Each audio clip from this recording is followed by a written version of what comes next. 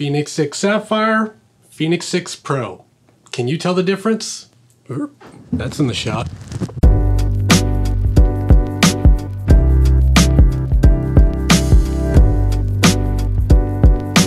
Hey everyone, welcome back to my channel. My name's Dave Dillon with ChaseSummit.com. In this video, I just wanted to answer some questions that were asked in the comments section of my last video where I reviewed the Garmin Fenix 6 against the Garmin Forerunner 945. A lot of you had some great questions and I just wanted to answer a few of them in this video. I think the most frequently asked question was the difference between Sapphire and Gorilla Glass. Today, I have the Garmin Fenix 6 Sapphire here and I also have the Garmin Fenix 6 Pro which features Gorilla Glass instead of Sapphire. In this video, I just want to talk about the comparison between the two devices and really what's different about. Before we get into this, make sure you subscribe down below and give me a thumbs up if you thought this was a helpful video. Also, go over to chasethesummit.com and check out more content like this. And if you're at all interested in purchasing a Garmin Fenix 6, please use the affiliate links down below. It costs you nothing and it definitely helps support my channel. I've got both devices here, so let's take a closer look. All right, so I've got the Garmin Fenix 6 Pro here, and I've got the Garmin Fenix 6 Sapphire here. So the Garmin Fenix 6 Pro features a Gorilla Glass uh, DX display,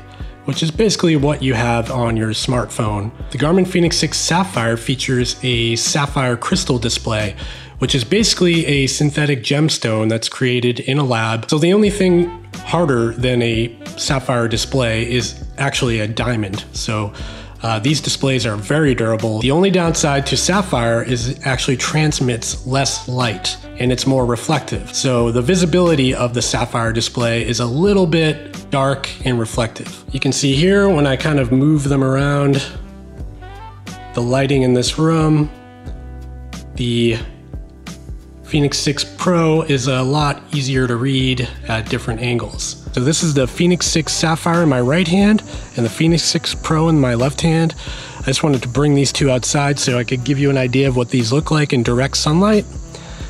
And in direct sunlight, the visibility is about the same. It doesn't really matter how I move them around. The Sapphire doesn't really make a big difference out in direct sunlight, although the Gorilla Glass is definitely a little less reflective. Spoiler alert, I will not be trying to scratch these watches in this video. I, uh, I pay for this stuff with my own money and uh, unfortunately I'm not rich enough from YouTube to uh, do that. From my experience though, the Sapphire is very durable and uh, the Gorilla Glass, while quite durable, is not, is not scratch proof. So I would suggest putting a screen protector on it and I'll show you what that looks like now. Right now I have a 37 millimeter tempered glass screen protector installed on this Garmin Fenix 6 Pro. It's really hard to see unless you look very closely from the side. You can kind of see the lip there, but uh, it's very low profile. It's really, um, it's really not bad, uh, but it does add a little, a little cloudiness to the, uh, to the device. So if you compare that to the Fenix 6 Sapphire, um, to me, they're they're about the same uh, in visibility. Right now, you can kind of see the reflection of my my light uh, coming off the, the watches there. So with the tempered glass installed, uh, it's pretty similar. Anyways, uh, I'm gonna pull the screen protector off now and uh, we can take a look without it. One thing I did find interesting when comparing these two is when the backlight is on, like it is right now, uh, the Garmin Fenix 6 Pro actually has like a bluish washed out tint to all of the black, whereas the Fenix 6 Sapphire has a much crisper, higher contrast display. Uh, and this is only when the backlight's on. So I don't know if this is a variance in manufacturing. Maybe they're using different LCDs from different vendors. Um, but it's quite noticeable, especially when it gets darker out. So what you're looking at here is uh, the Garmin Fenix 6 Pro on the left and the Garmin Fenix 6 Sapphire on the right. And these are both in my pitch black bathroom. And I just wanted to give you a look at what the differences in backlight color are. I thought this was kind of odd. The Garmin Fenix 6 Sapphire, which you see on the right here, has much truer blacks and deeper blacks.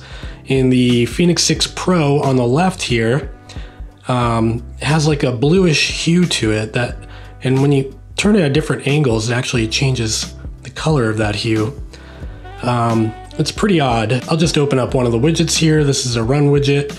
And you can see again, the Fenix 6 Sapphire has much deeper blacks and, and the whites pop out a bit more. And the Fenix 6 Pro has that bluish hue to it, which makes visibility a little weird. Totally functional. It doesn't affect how the device works at all, but to me, I, I prefer the, the deeper deeper blacks. So the guts of the Fenix 6 Pro and the Fenix 6 Sapphire are identical. Uh, whatever you can do with the Fenix 6 Pro, you can do on the Fenix 6 Sapphire and vice versa. And they both feature a stainless steel bezel and back, along with a heart rate sensor with uh, pulse ox, blood oxygen saturation. So they're basically the same exact watch. The only difference between these two devices is the material used for the glass and also the coating used on the metal parts. The Garmin Fenix 6 Sapphire features a DLC or diamond-like carbon coating. So what that means is it's a lot more durable than a standard coating. I don't have a lot of experience with this coating. I've had this watch for a little while now and it's still flawless, but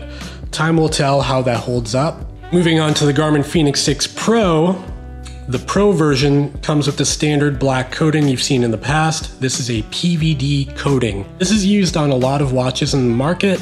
It's very durable, uh, but it's still not quite as durable as the DLC coating on the Sapphire model. Like I said, I've managed to scratch other watches with this type of coating in the past, and uh, because it's black, the scratches are very noticeable. So the color between the two watches is slightly different. Uh, the DLC Sapphire version comes in a carbon gray, and the Pro comes in black. The carbon gray is a little bit lighter and I think that will also help with scratches. If this bezel does scratch a little bit, it may not be quite as noticeable as it would be on the black. The only difference is the type of glass used and the coating on the metal. Everything else inside there is identical. The guts are the same. You're gonna get the same exact performance from both watches. So you gotta ask yourself, is it worth it? 100 bucks? You get the Sapphire, it's a little bit more durable, it's a little dimmer, a little harder to see. The Fenix 6 Pro is $100 cheaper, but you may scratch the lens. Then again, you could just throw a screen protector on there for like five bucks and protect it. And I'm sure there will be some people out there that just wanna pay up for the exclusivity of having the Sapphire model. I also like that the backlight is a little bit more contrasty and visible. Anyways, this is just a quick video to compare the two models, the types of glass used, and how that makes a difference in functionality. I hope this video helped out, I answered some of your questions. If it did, please make sure to give me a thumbs up and subscribe down below. It really helps me out, it makes me feel good inside. And I'll see you in the next one.